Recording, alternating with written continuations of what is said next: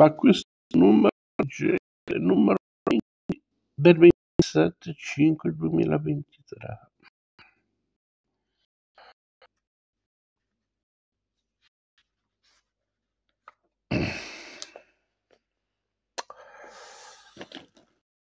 Detto Mario, l'editoriale di Umberto Brindani.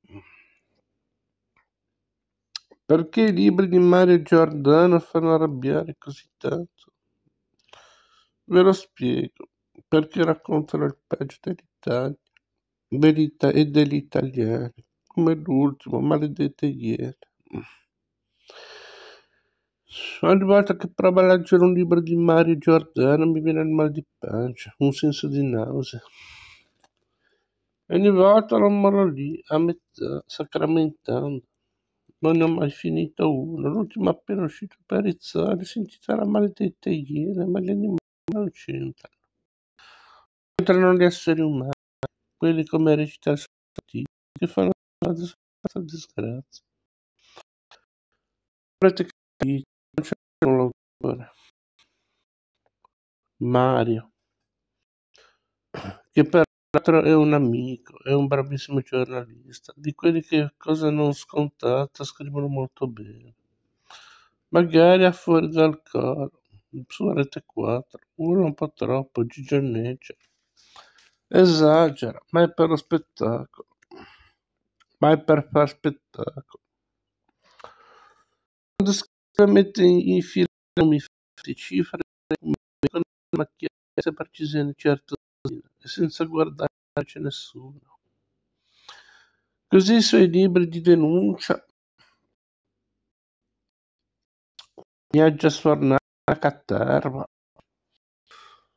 raccontano storie vere di mattori o presunti tali che quasi sempre non sono i soliti criminali, ladri, assassini, mafiosi, violenti, che riempiono le cronache e le galere. No, sono i colletti blu, i manager, i politici, gli imprenditori, gli evasori, quelli che si arricchiscono nei periodi di crisi che sfruttano le pieghe della legge, che rubano senza farsi accorgere, speculano sulle sofferenze delle persone, vecchi vampiri, nuovi scuole, ar- arafoni e manigioni, sanguisughe milionari, ma non già su che soldi, sintetizza Giordano.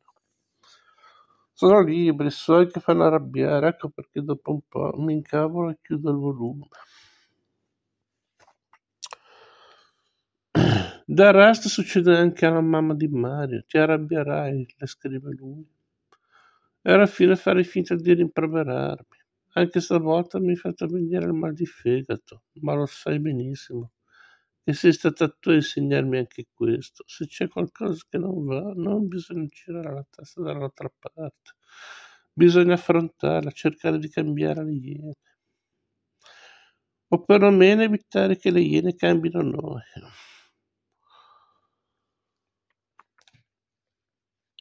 Già, ma è una parola. Si sente dire ovunque, al bar come al mercato, che i poveri sono sempre più poveri e i ricchi sempre più ricchi.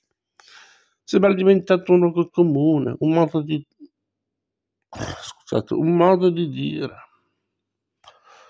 Ci siamo abituati un po' come alle stagioni che non sono più quelle di una volta.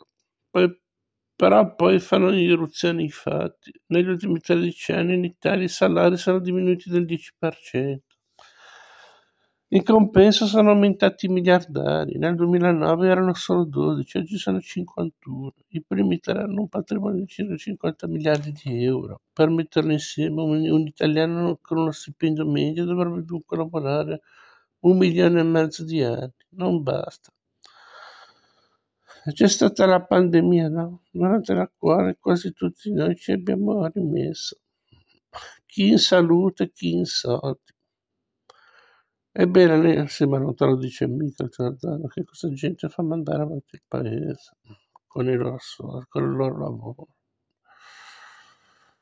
Ebbene, nei primi due anni di Covid, mentre 163 milioni di persone nel mondo cadevano in povertà, i, patrimoni dei 10 uomini più ricchi del mondo sono passati da 700 a 1500 miliardi di dollari aumentando a ritmo di 15.000 dollari al secondo, ripeto, al secondo.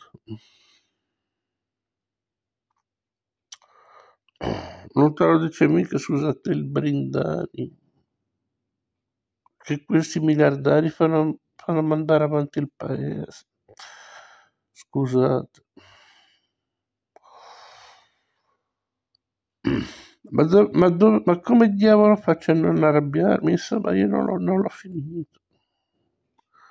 Male mi perdonerà, ma comunque è un libro da leggere, ve lo consiglio, a meno che non abbiate problemi di stomaco o di fegato.